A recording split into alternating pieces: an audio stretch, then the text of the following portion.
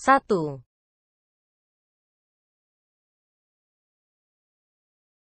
Dua.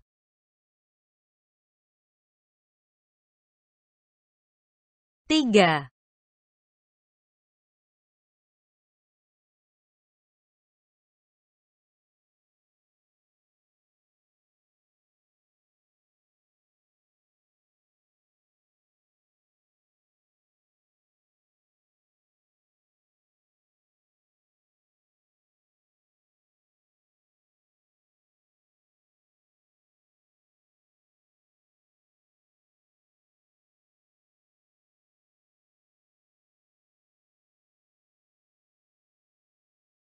Sepertinya lubang hitam pun tidak bisa menahan godaan untuk menyisipkan dirinya tanpa pemberitahuan ke dalam foto, bom foto kosmis yang ditemukan sebagai objek latar belakang gambar.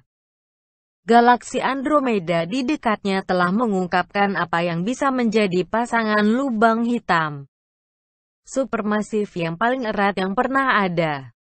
Para astronom membuat penemuan luar biasa ini dengan menggunakan data sinar X dari Observatorium X-ray Chandra milik NASA dan data optik dari teleskop berbasis darat. Gemini North di Hawaii dan pabrik Palomar Transient Caltech di California. Sumber yang tidak biasa ini, yang disebut LGGSJ 004527, 30 plus 413.254,3, J 0045 plus 41 untuk pendek.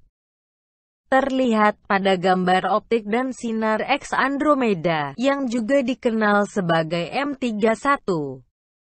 Sampai saat ini, para ilmuwan menganggap J004 plus 41 adalah benda di dalam M31.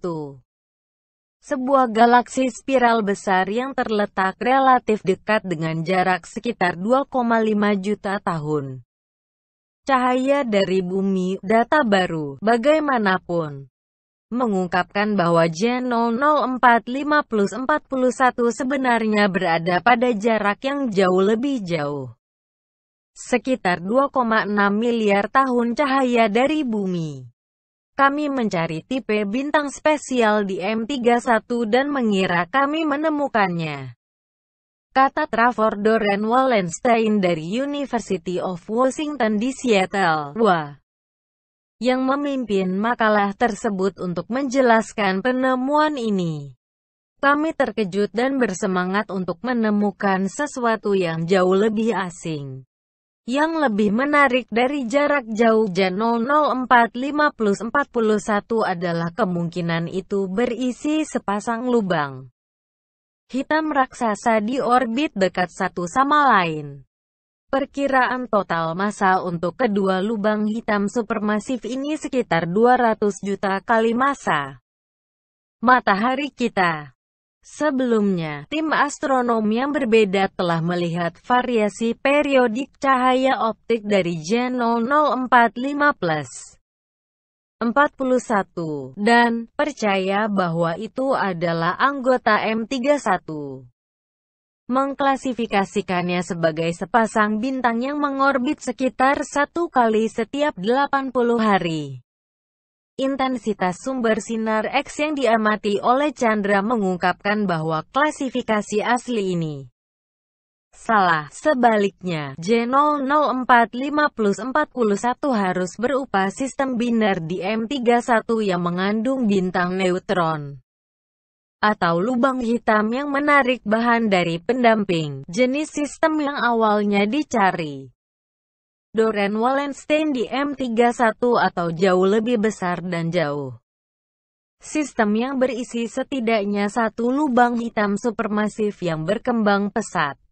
Namun, spektrum dari teleskop Gemini North yang diambil oleh tim Universitas Washington menunjukkan bahwa J 0045 plus 41 harus menjadi tuan rumah setidaknya satu lubang hitam supermasif dan memungkinkan para peneliti memperkirakan jaraknya.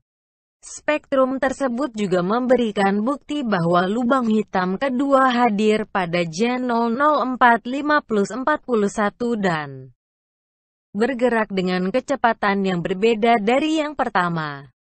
Seperti yang diharapkan jika kedua lubang hitam saling mengorbit. Tim kemudian menggunakan data optik dari Palomar Transient Factory untuk mencari variasi periodik dalam cahaya dari J0045 plus 41. Mereka menemukan beberapa periode di J0045 plus 41, termasuk yang berusia sekitar 80 dan 320 hari. Rasio antara periode ini sesuai dengan yang diprediksi oleh kerja teoritis pada dinamika dua lubang hitam raksasa yang saling mengorbit. Ini adalah pertama kalinya bukti kuat tersebut ditemukan untuk sepasang lubang hitam raksasa yang mengorbit, kata rekan penulis Emily Levesque dari University of Washington. Para periset memperkirakan bahwa kedua lubang hitam putatif tersebut saling mengorbit satu sama lain dengan pemisahan hanya beberapa ratus kali jarak antara bumi dan matahari. Ini sesuai dengan kurang dari seperseratus tahun cahaya. Sebagai perbandingan, bintang terdekat matahari kita kira-kira empat tahun cahaya jauhnya. Sistem semacam itu bisa dibentuk sebagai konsekuensi penggabungan miliaran tahun sebelumnya dari dua galaksi yang masing-masing berisi lubang hitam supermasif. Pada pemisahan dekat mereka saat ini, kedua lubang hitam itu pasti ditarik lebih dekat bersamaan saat mereka memancarkan gelombang gravitasi. Kami tidak dapat menentukan dengan pasti berapa banyak masa masing-masing lubang hitam ini.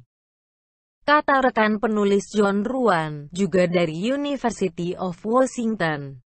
Bergantung pada itu, kami pikir pasangan ini akan bertabrakan dan bergabung menjadi satu. Lubang hitam dalam waktu 350 tahun atau sebanyak 360 ribu tahun. Jika J0045 plus 41 memang mengandung dua lubang hitam yang mengorbit, maka akan memancarkan gelombang gravitasi. Namun sinyal tersebut tidak dapat dideteksi dengan LIGO dan Virgo. Fasilitas berbasis tanah ini telah mendeteksi penggabungan lubang hitam bintang-bintang yang menimbang tidak lebih dari sekitar 60 matahari dan, baru-baru ini, satu di antara dua bintang neutron. Penggabungan lubang hitam supermasif terjadi dalam gerakan lambat dibandingkan dengan lubang hitam bintang-bintang, kata Doran Wallenstein. Perubahan yang jauh lebih lambat dalam gelombang gravitasi dari sistem seperti J0045 plus 41 dapat dideteksi dengan baik oleh jenis fasilitas gelombang gravitasi yang berbeda yang disebut pulsar timing array.